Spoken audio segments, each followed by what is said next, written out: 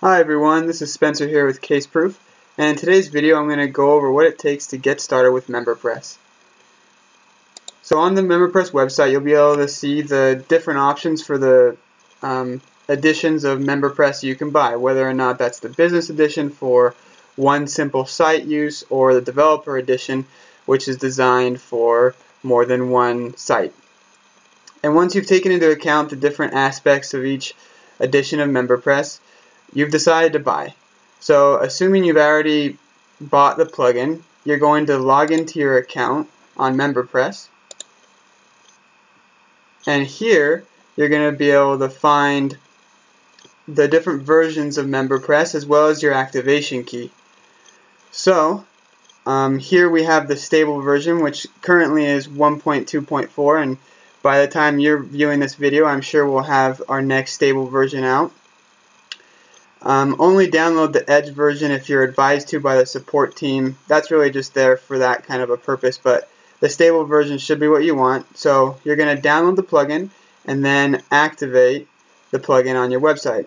So if, we, if you go to your site, you go to Plugins, Add New,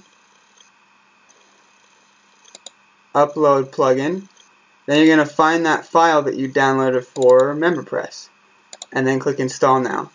This will install the plugin on your page and then you're going to want to proceed to activate the plugin.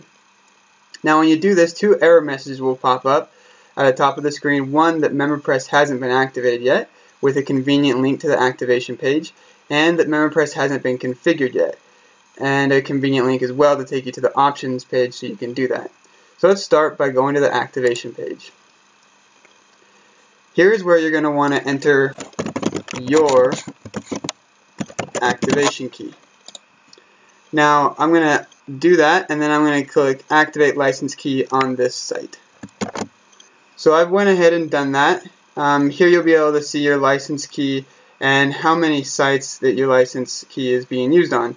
I have the developer edition of MemberPress, so here it says two of unlimited sites. If you have the um, just the standard version of MemberPress, then here it will say one of one. Now, after you've hit the activation key, then you're going to want to configure your options. And this, again, this error message is still going to be here.